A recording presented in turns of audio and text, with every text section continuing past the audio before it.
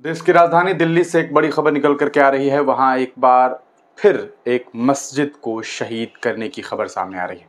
अभी उस मस्जिद को शहीद की नहीं गई है। उस मस्जिद को शहीद की जाएगी। जी हाँ हाई कोर्ट ने एक बड़ा फैसला सुनाया है। आप तमाम लोग जानते हैं कि हज़रत निज़ामुद्दीन एक क्षेत्र है, एक इलाका है दिल्ली में। उसी इलाके में एक मस्जिद और एक मदरसा दोनों ही हैं और उस दोनों को ही शहीद करने की खबर सामने आ रही है।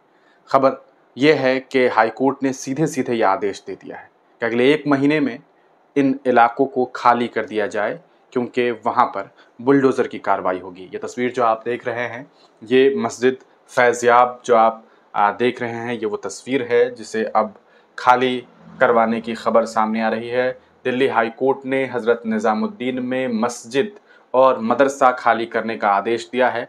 ये 14 जून की खबर है, आप देखेंगे तस्वीरें। के बुलडोज़र की कार्रवाई की जाएगी। दिल्ली हाई कोर्ट ने सराय काले खां के हज़रत निज़ामुद्दीन में स्थित मस्जिद और मदरसे को खाली करने का आदेश दिया है, जिसे नगर निगम के अधिकारियों द्वारा ध्वस्त किया जाना है। यानी कि नगर निगम के जो अधिकारी हैं, वो इस मस्जिद को शहीद करेंगे। इस मस्जिद को ध्वस्त करेंगे, ये खबर सामने आ रही है। एक महीने में खाली करना होगा। खाली करनी होगी मस्जिद और मदरसा। दिल्ली हाई कोर्ट ने दिया निर्देश। अब और नहीं बढ़ेगा समय। जी हाँ अब और समय नहीं बढ़ेगा तो ये एक बड़ी खबर निकल कर के आ रही है। दिल्ली में इससे पहले भी आप तमाम लोग जानते हैं कि कई मज़ारों और मसाजिदों के ऊपर बुलडोज़र की कार्रवाई हुई है।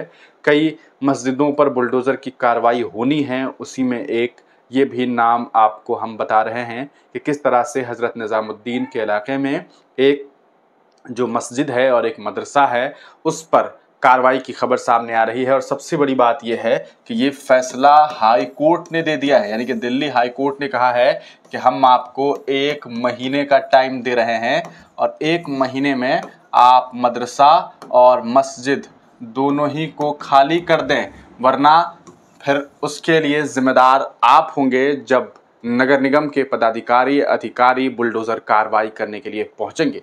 तो सवाल ये है कि आखिरकार इस तरह की नौबतें क्यों आ रही है?